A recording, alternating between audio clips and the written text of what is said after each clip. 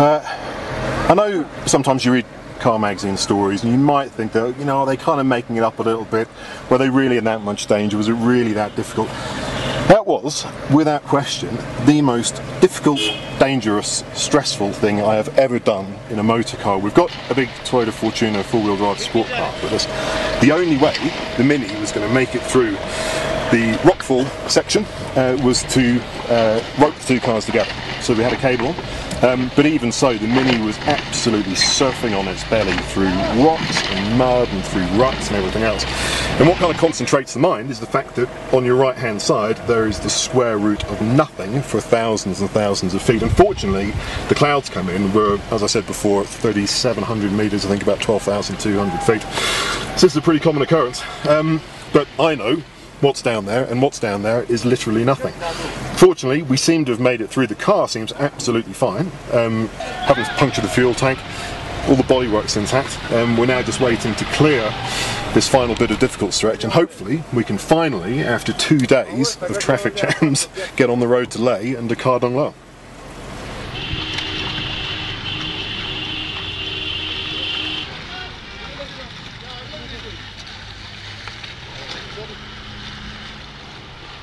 So what are we learning about the Mini Cooper convertible on Indian roads? Well, I kind of appreciate that these observations probably aren't enormously relevant to those of you who don't regularly drive in Indian cities uh, or above 18,000 feet. But I've been enormously impressed uh, by this car. It is just a standard Cooper uh, and the engine has just enough power for overtaking, even at 4,000 metres, 12,000 feet and above. And you really do need to overtake on these roads, otherwise you risk getting stuck behind these ancient Indian cargo trucks that just belch thick black clouds of acrid soot back at you. You really don't want to get stuck behind them.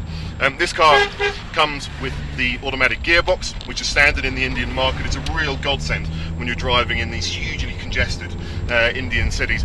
It's not the most predictable or smoothest of changes, but what it does do on these long, long climbs we've been doing is to hold on to the gear uh, really well and not uh, change up, and it keeps you in the power band pretty nicely.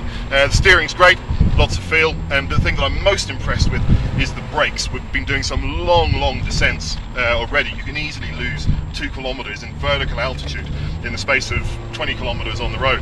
Um, and the brakes don't fade at all, they never go off, loads and loads of feel, just what you want. You also, on these hairpins we're driving through now, very often meet one of those cargo trucks coming in the opposite direction. That's why you blow your horn going around every corner. And there have been a few occasions when I've really tested the brakes, really had to stamp on them, uh, and they've always come through. Very, very impressive.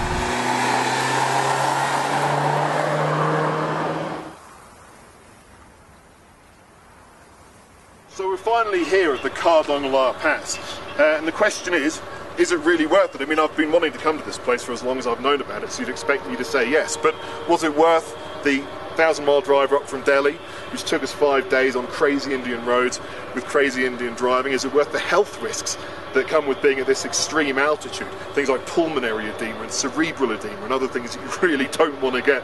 Was it worth the risks that we had to face from floods and from landslides and from having to drive at night through basically unmarked roads that ran straight through the desert and driving over other 5,000 metre plus passes late at night? and the things that we had to do this mini to get it through as well, dragging on its belly through roads that had been pretty much destroyed by landslides and digging it out of deep sands. Well, of course it was worth it. Just look at the